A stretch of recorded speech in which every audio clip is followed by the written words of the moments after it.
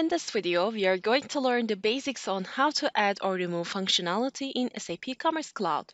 At the end of the presentation, a quick demo will be performed. Most of the SAP Commerce Cloud functionality is actually delivered by its extensions.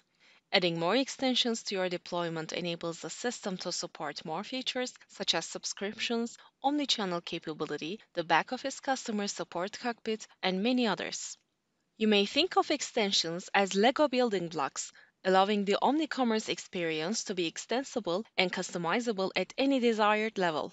Some extensions are developed by SAP and delivered as part of the out-of-the-box experience, while other extensions are created by third party, such as external service providers, partners, and customers. So, how do we add or remove extensions in SAP Commerce Cloud? It is normally a three-step operation. 1. By adding or removing them from the local extensions XML file. 2. Rebuilding the system. And 3. Updating the platform. It's always good to check the extension page at help.hybris.com in order to see if any additional configuration steps are required.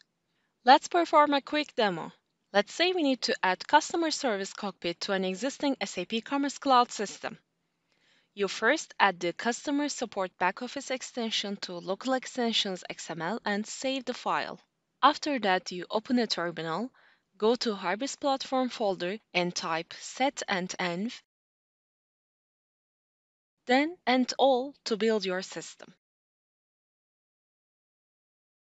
After the build is finished with success, go to HAC and select Platform Update.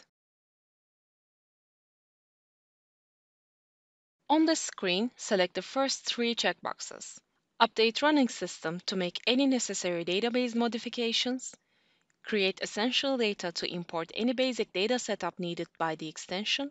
And localize types to perform the internationalization setup for the new extension or extensions. Scroll down to find your added extension in the Project Data Settings section.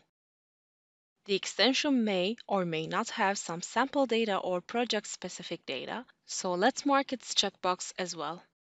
Click on Update and wait it finish. After the update is finished, let's test the added functionality. Go to Backoffice and you will find available Customer Support Cockpit.